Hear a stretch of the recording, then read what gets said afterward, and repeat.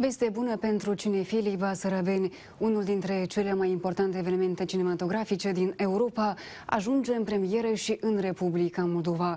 Cele mai bune cinci filme realizate pe continent în 2023 vor fi proiectate în luna noiembrie la Chișinău.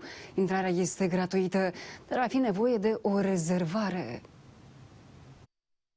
Eu sunt sigură că avem în Chișinău un spectator care își dorește filme filme de artă, filme de calitate și nu trebuie să lipsim de această posibilitate. Suntem europeni, avem sensibilitatea europeană, da? avem percepții, valori. În acest an, Chișinăul va fi unul dintre cele peste 45 de orașe europene în care se vor proiecta cele mai bune pelicule care au participat la festivaluri internaționale de film, precum Cannes, Berlin sau Locarno. Cinefilii vor putea viziona aceste filme timp de o lună, în fiecare săptămână, vinerea și duminica, începând de mâine, 3 noiembrie. Într-adevăr, ne dorim să vedem sări cât mai pline și cred că, cred că vor fi, pentru că vorbim de un public educat. Filmele acoperă o diversitate de uh, valori uh, comune în spațiul cultural european. Vorbim aici de diversitate, de incluziune, de conflictul dintre generații, de valorile familiale. Fondul cinematografiei este, de fapt, cel mai important element care